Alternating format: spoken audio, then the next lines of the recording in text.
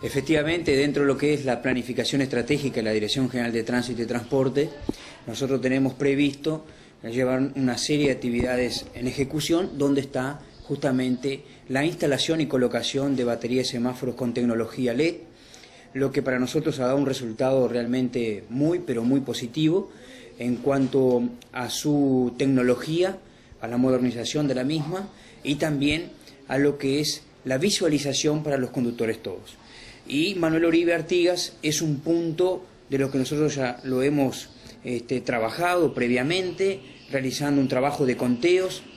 definiendo cuál era realmente la problemática y la situación a solucionar en esa intersección. Una vez realizado esto por el equipo y de, de, recursos humanos que integran el staff de la dirección, definimos realizar una pequeña obra de ingeniería vial que son eh, lo que es el alargamiento de los canteros centrales y también algunos tipos de desvíos por algunas calles como es calle Artigas. Una vez culminado esta etapa, procedemos con una tunelera realizar el túnel respectivo para la instalación de todos los caños y el cableado para instalar las baterías de semáforo. ¿Por qué con una tunelera? Para que no tengamos que romper lo que es el pavimento, porque se podía eh, demorar mucho tiempo e inclusive tener mayores dificultades en el tránsito, en el transporte que circula en esa intersección.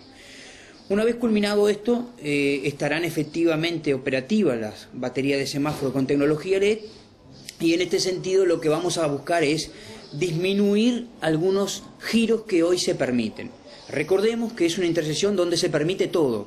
bueno, en, esa instancia, lo que son las calles paralelas, las calles auxiliares a Manuel Oribe, simplemente van a poder girar a la derecha o seguir hacia adelante. No se le va, se le va a prohibir el giro a la izquierda que hoy está permitido. También cuando se traslada un vehículo, sea cual fuere, de norte a sur o de sur a norte por calle Manuel Oribe,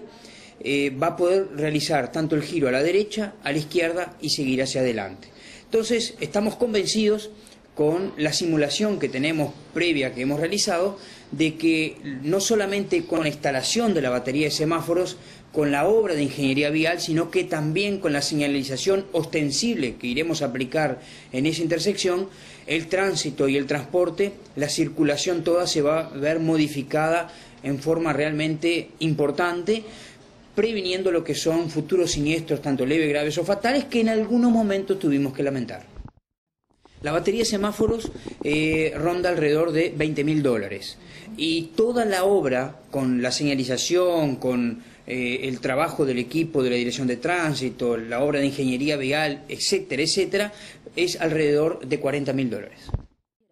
Sí, también tenemos previsto para antes del 31 del 12 de este presente año mismo instalar una batería de semáforo también con tecnología LED en la intersección de Presidente Viera y Agraciado. Recordemos que es una intersección muy conflictiva en horarios picos, pero también podemos decir de que no tenemos dificultad en cuanto a la siniestralidad, porque al ser tan conflictiva, el propio conductor ya lo ha asumido de tal forma que al cruzar por esa intersección tiene la mayor precaución este, que debe tener en ese momento. Entonces esto lleva a que la siniestralidad se traduzca en, en un índice cero.